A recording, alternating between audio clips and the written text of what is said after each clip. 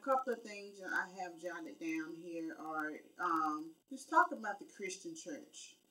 Um, there, there are many denominations in the church, and the church is so broke up because uh, the denominations are based on disagreements over the interpretation of Scripture. In First Corinthians chapter one, verse ten through thirteen, it says, Now I beseech you, brethren, by the name of the Lord Jesus Christ, that ye all speak the same thing, and that there be no division among you, but that ye prove that but that ye be perfectly joined together in the same mind and in the same judgment. And then verse 13 says, Is Christ divided? And my just me, I, I'm, I'm saying I'm right, I'm not saying I'm wrong, but for, to me, the, the many denominations, each denomination has its own set of rules, its own set of beliefs, and even some have what they call a government. And I, I truly do not believe that this is what Christ wanted us to do. This is not what God wanted us to do. And even with Paul and his teachings, the only thing Paul left us with, basically to sum it up, was we are to elect leaders in in within the in, in the building. If we have a building that we're worshiping in, that he told us, he taught us in his teachings to appoint a pastor. There was prophets, there was apostles, there was teachers, and there was evangelists. And there, and then there were elders in the church. And we all know what elders are. An elder is an older person. Elder is a more a person that has knowledge. Somebody that's been appointed to be an elder, in my belief, should be someone that is full of knowledge, not just somebody off, not just somebody that's a babe in Christ and then you're appointing them elder. No, that's not what elder means. And I, I, have been doing some research on the different denominations. Uh, I, I can't even begin to name all of them. And each of them have their own set of rules, and some of them they you don't they don't want you to um, sing. They don't want you to play music. Some some denominations don't believe in prophecy. Some people don't believe in speaking in tongues. And it, it, this is what Satan wants. He wants the body of Christ so divided up that they don't even realize that the church is the one that's going to hell. The, the, the guy that when, when Jesus comes back, he's coming back to judge the church first, not the sinner. Not not the people that's running around here sinning. He comes back to judge the church because we know better. And people, we have took the Bible and we have turned it into what we want to, or we take different parts of the Bible and we use it to our own advantage. And, and, and that's what and that's the thing, like Paul asks, is Christ divided? Christ was not divided. Therefore, he wanted us all to worship God and, and to honor him as a whole. He did not want us to be breaking stuff down and we going over here and say we believe this, this, uh, and then this group said we believe this, and then this group said, well, we don't believe what neither one of you saying, and that's that's out of order, and that's what Satan wants. He wants the church, you. The church is you. So many people hollering about the church, the build. Yeah, the church and the building is not the same thing. A building is just a temple, a, a, a mosaic, whatever you want to call it. It's just a building where we gather together to, to worship. And as in Hebrews 10 and 25, it says, and let us not neglect our meetings together as some people do, but encourage one another, especially now that the day of his returning is drawing near. And so many people they get confused about well, I don't have to go to church. I don't have to do this. I don't have to do that. I can just get mine at home. Yes, true enough. You might get yours at home. You might get yours off the TV ministry. And, and, and you just might because even the church is within you. So you have to worship God and praise God even when you're not in the temple with other people. But as, as in Hebrews, it says, let us not neglect our meetings together, meaning we are still have we are still to come together as a whole. If, if you're a marriage, if you're in a marriage, yes, that's coming together. If you belong to a group of people or there has been a ministry established in a building, yes, you gather together to praise and worship God. You gather together to be taught because you might not be able to hear from God versus somebody else that you've been to their ministry and they're teaching you because like again god has appointed evangelists teachers prophets evangelists and um pastors he that that is what that is why we should go there because sometimes we could be so bound and so caught up in sin that we can't we can't get our deliverance on our own we, we can't get that breakthrough we need. We might need somebody to pray with us. We might need somebody that God has given that power and that authority to to lay hands on us or to just be in their presence and for them to pray for us and help and help pull us out of whatever we're in or to break those chains of whatever we have had that has us bound. And and and um as in, and then in Hebrews 26 and 27, it says, Dear friends, if we deliberately continue sinning after we have received knowledge of the truth, there is no longer any sacrifice that will cover these sins. There is only the terrible expect- expectation of God's judgment and the raging fire that will consume his enemies. And what that is saying is when you know better, you do better, and that that goes back to the church and Christianity. That's why so many people run from the Christian churches. They go and they go to these other religions. They want they're, they're saying they're Jehovah Witness. They're saying that they're um, Islam, or um, they're saying that they're paganism. They're pagans. Why? Because the Christian church, the Christians have so screwed the Bible up and the Word of God till nobody wants to fool with Christians because they say Christians are confused, that they, they're divided. And yes, the Christian the Christian church is divided. It's too many different denominations and too many rules to where you got one denomination over here looking upside the other one's head or this, this, this, that. And God has appointed many leaders. And because of that organized religion, that organized, man-made. Man come up with all these silly rules about, oh, you can't preach. I mean, you can't prophesy in my church. Oh, you can't dance in my church. Or you can't sing in my church. Or you can't play instruments. Or no, blah blah blah. This. Or we we pray to this statue. Or we don't pray to the statue. Or Jesus was not the Son of God. Is a prophet. All this stuff is evolved around the Christian church and what, as a people over the years, have we have screwed the church up. And that's why people don't want to come. That's why people it's so hard to get people to come to Christ because they're so afraid of Christianity because Christianity have been taken and just turned into something else.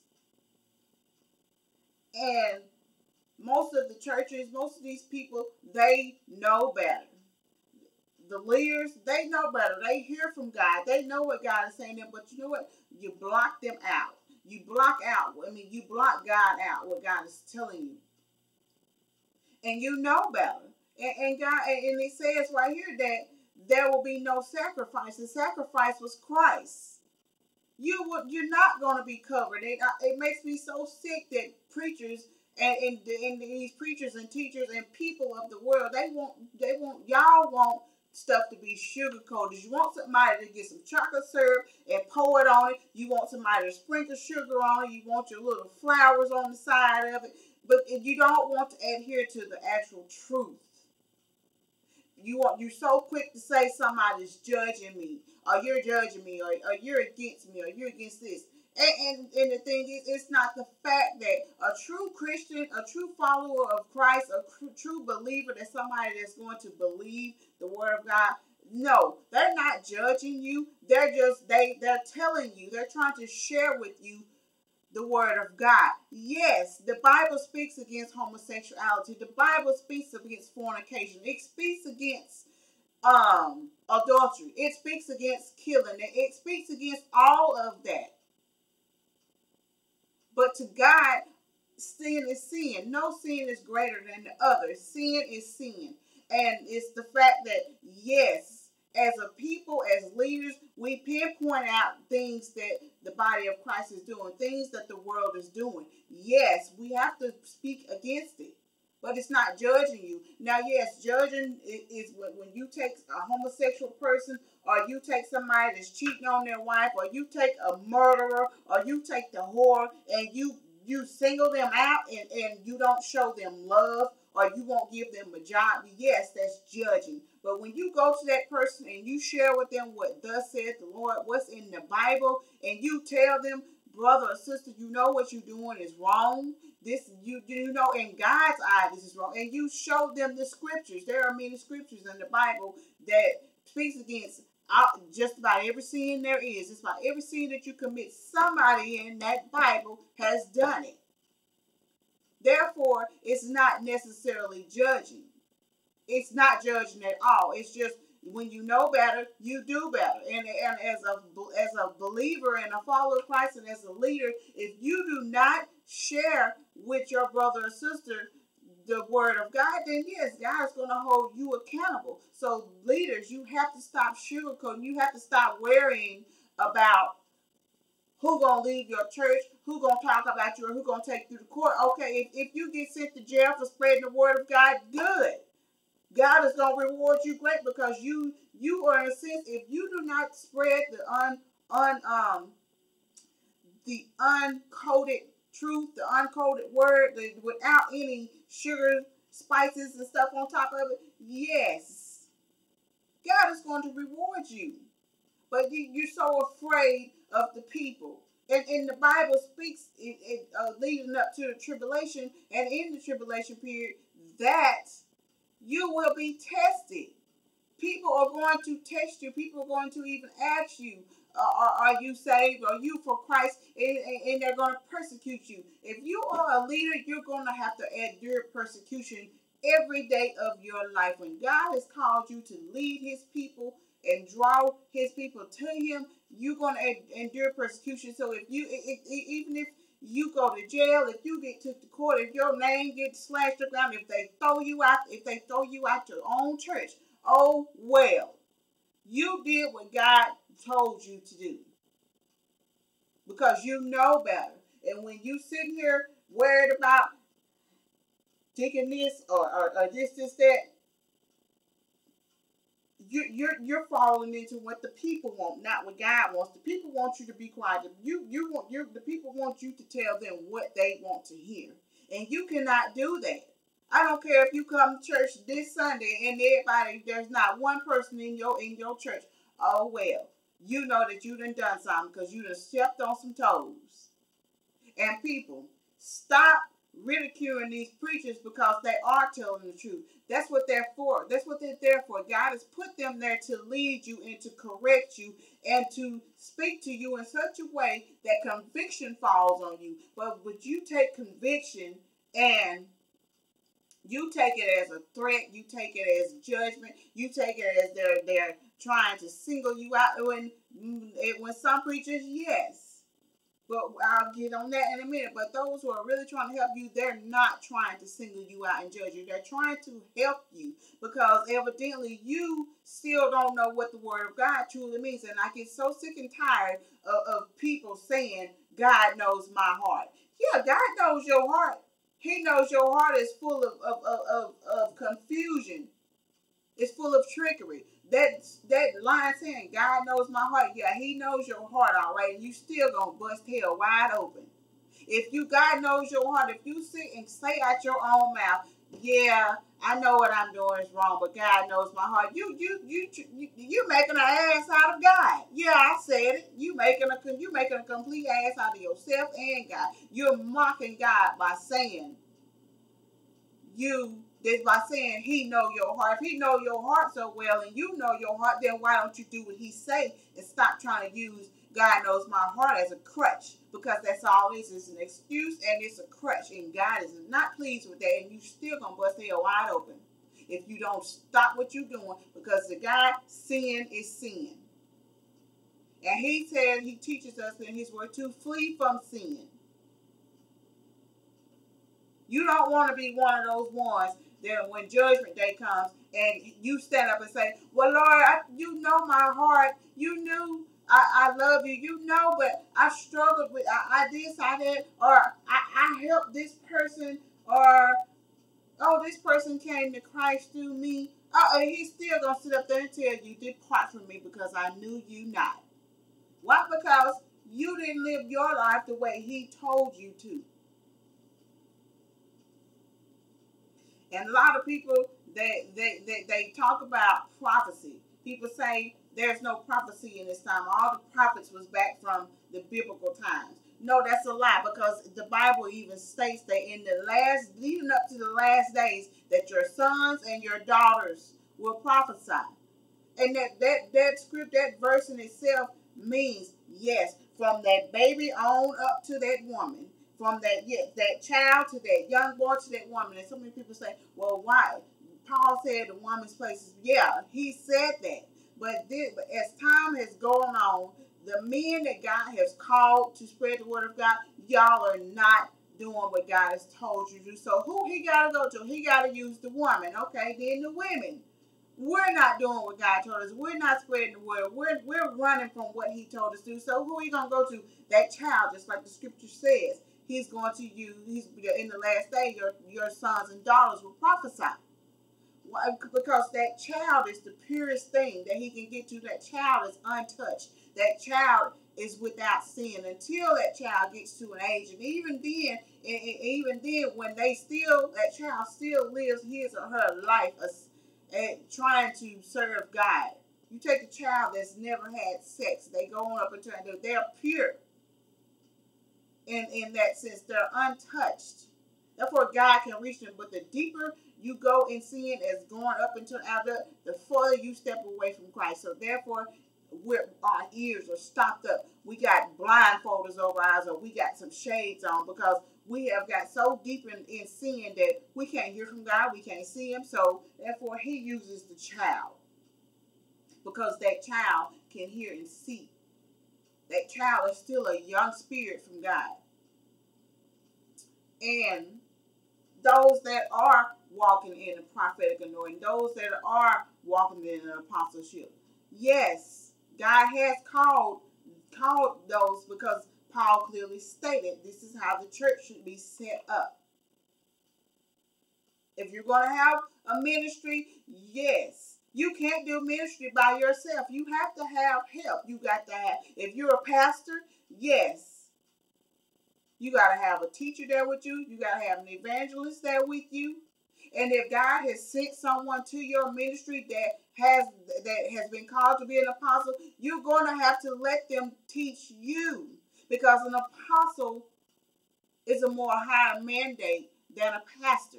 That man, that apostles are to build ministries. They are they are they're there to help you build your ministry. They're there to correct you. They're there to tell you what you are doing wrong, and you have to advert. If you have to administer that change. Then there's the prophet. You have the prophet within your ministry. You that prophet might see something that you don't see, and, and you have to listen to them.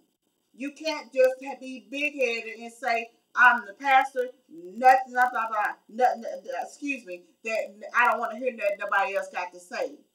You, you can't do that. So therefore, it says in First Thessalonians 5 and 20, despise not prophesy. Despise not prophesies, prophesying. And then in John 4, 1 John chapter 4, verses 1 through 5, it says, Beloved, do not believe every spirit, but test the spirit, whether they are of God, because many false prophets have gone out into the world. But this you know the Spirit of God. Every spirit that confesses Jesus Christ has come to the flesh is is of God, and every spirit that does not confess that Jesus Christ has come in flesh is not of God. And this is the spirit of the Antichrist, which you have heard was coming and is now already in the world. If you are a true follower of Christ, if you are a true man or woman of God, you will know who you have within your congregation. You will know who has been called to be an apostle. You will know who's been called to be an evangelist. You will know who's there within your ministry to help you. And you have to acknowledge it. And just because you might not see something does not mean that the member sitting on the back row doesn't see something because you have you just have to listen. You, you have to listen in the spirit. You have to see in the spirit. And you people, even another thing, people, you have to quit saying that everybody is a false prophet. Yes, the scripture says, beware of false prophets. But if your discernment of the spirits right, you will know who is real and who is fake by their teachings. And, and, and people stop always looking for the prophet or the apostle to give you a good word because every prophet has not most a lot of prophets are not the bearer of good news. They never have good news. The, some prophets are only here to uh, to tell you to warn you of end times, to warn you of things to come, to warn you about something you're doing in your own life, to warn you. That's that's the job. That's that's the sole job of some prophets. Now, some prophets, yes, if God gives it to them to speak a good word to you, to, to tell you something good is going to happen to you, yes. Use your discernment. If your spirit agrees with it and you know that this is a true man, then, then accept it and wait on God to manifest it in your life.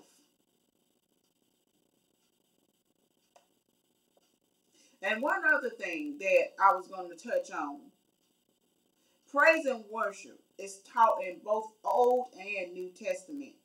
And going back to the denomination,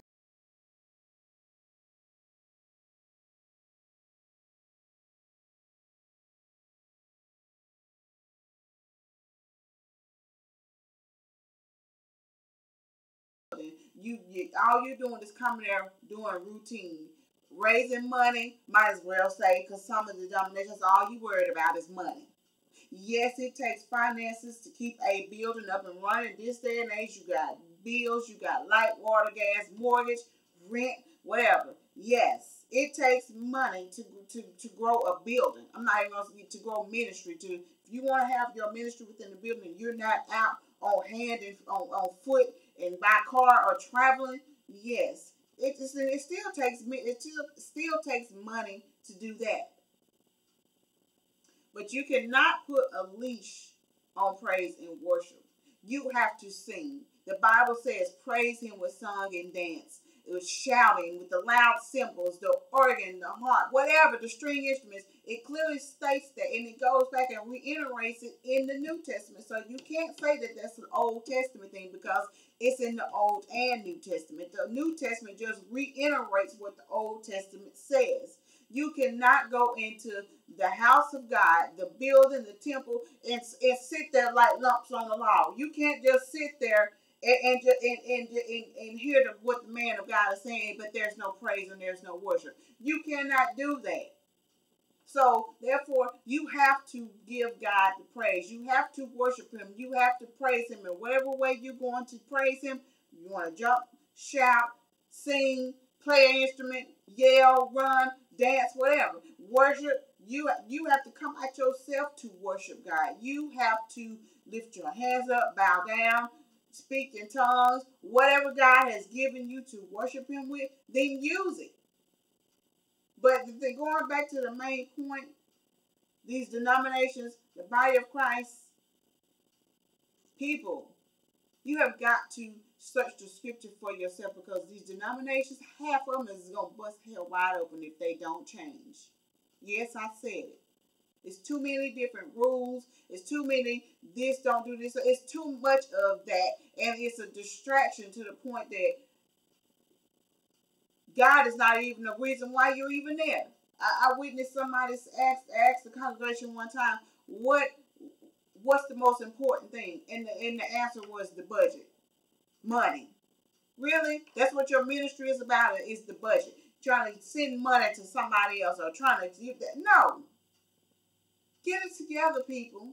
I know I was doing a little rambling and jumping around, but my thing is, people, you have to study to show yourself approved. If, if, if your spirit don't agree with something or something's confusing, if you, I don't care if you've been in the church for 20 years, and if their teaching is not what that word of God is saying, then they are teaching false doctrines.